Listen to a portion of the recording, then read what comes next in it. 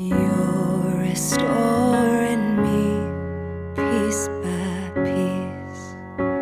What's up you guys? Welcome back to my channel. Today we're going to talk about my niche, things that I'm going to be discussing on this channel. Without any further ado or prolonging this intro, we're going to get right into the topic of today. Also, I'm going to be trying to go live every morning from 8 o'clock all the way till 9 or like 5 minutes before 9 uh, it would be like me chit-chatting with you guys in the morning getting while getting ready to go to work and on the way to work. So you guys will you know hopefully to see you guys there okay? Who am I? Not sure if you guys can actually see this. Um, if you can't I'm, I'm, i might use my notes. But for now ugh, for now I want to explain to you guys a little bit. Most of you might know um, especially of those who are Christians but if you're not it's fine. I would love for um, I would love to share this information with you. And somehow my neighbor decided to uh, mow his lawn today right when I'm about to do the video. Anyway, this is who we are. We are made of a body, soul, and spirit. What you see is your body, okay? Which is the reflection of you. You don't actually see yourself. You see, like when you look in the mirror, or if I'm looking here, I'm like, hi, I see me. Oh my God, yes. So it's me that I see. I, I mean, I see a reflection of me, not exactly me. Okay? So uh, hate this reflection. Like right now you guys see a reflection of this and me. You guys don't actually see me in person. You see a reflection of me through the video. Does that make sense? If it doesn't comment below. And then we have the soul.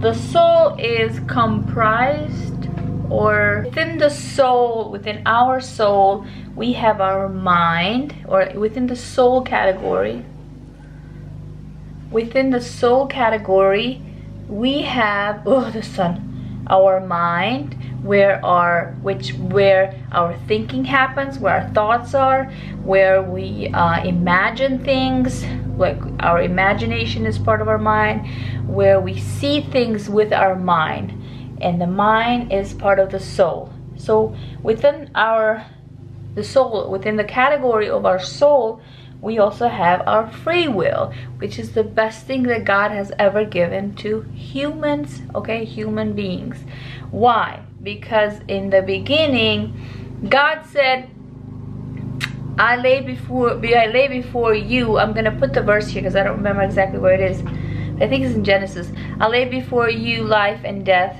Now therefore choose life. Um, I think it's something like this. Correct me. I don't really care if you correct me. I'm gonna put it here once I edit the video.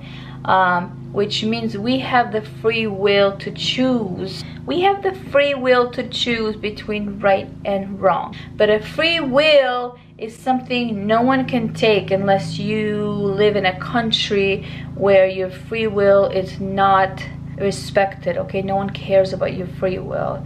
Um, and that's wrong. That's the that's a human right that god has given to us right from the beginning right from the garden of eden. Within this category of your soul, we have our mind, where thoughts, our thinking happen, our free will, our consciousness, or you know, the things that we're conscious about, our emotions, what you feel, what uh, under the soul, we also have the heart. I'm pretty sure there's more, but I'm just gonna stop right there. So within your soul, first let's go back here. Within your body, you have your flesh which is you know your flesh like your skin whatever and then we said that we see a reflection of us we don't actually see ourselves you know we see a reflection of our ourself when we look in the mirror so that's for the that's what that's for the body that's what the body has i'm pretty sure there's more of course My niche is the soul. I will be bringing content that's going to help you, help us, and me as well, uh, develop or understand our soul. Okay? And I'm going to use personal experiences. I'm going to use the Bible. I'm going to use um, things that have happened to me. And I'm also going to um, share what God wants me to share and to tell you guys. So this is what falls under the soul. Now let's get back to the spirit. Within our within our body, there's we also have a spirit. Okay, so you might you might be like confused now, and you might you might be confused, and you might be saying like um. So I am three persons three people inside of me? No it's not not three people. You're one body you have a spirit and a soul. My understanding. The spirit is what you don't see but it's inside of you inside of us okay? Um, for us for those of us who accept jesus we become christians we believe jesus um, the old spirit that was inside of us dies and you know when you hear people saying you're born again, well that old spirit dies and then God gives you his spirit and you're born again, which is your your when you're born again, your spirit is born again. Not your soul, not your body. Okay? When you're born again, when you accept Jesus, people say, "Oh, I'm born again." But you're you might be confused. You look at them, you look the same to me. Because your body is still the same. Like you know let's say I, I was born again today accepted Jesus. Um, if I'm fat today I'm fat tomorrow. You know even after I accept Jesus. Um, the Bible encourages us to renew our mind which is part of our soul through God's word um, and that's why I always I always share the importance of reading and studying God's Word because that's the only way we're going to renew our mind. If we don't renew our mind through God's Word, uh, the world will. the world, the TV, the social media, Hollywood, um, they will make you think what they want you to think because you allow it. So if you immerse yourself in God's Word and allow God to renew your mind by um, reading His Word, by uh, just being in fellowship with God every day. Um, he will renew your mind, your thinking, your uh, which will help you use your free will to choose right, to, to make good choices in your life. And uh, you will be more conscious about things that are right and wrong, and your emotions will not be all over. Your heart will be renewed as well you know. God will give you a new heart.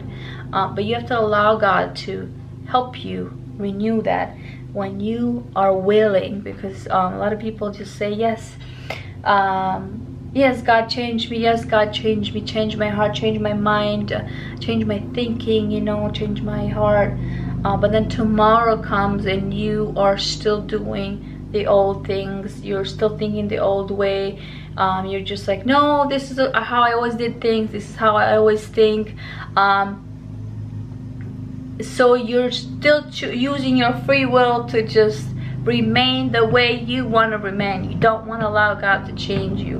And you're not going to go any further. You're just going to have a title of I'm a Christian but uh, you're gonna be but your mind your soul is going to uh, be parked you know like a parked car in the garage that it's there um, and it doesn't move you know and you use it once in a while but it's there you know I don't want to I don't want to change the oil I don't want to do nothing to it it's just there you know. So you don't want to be that type of a person or a Christian.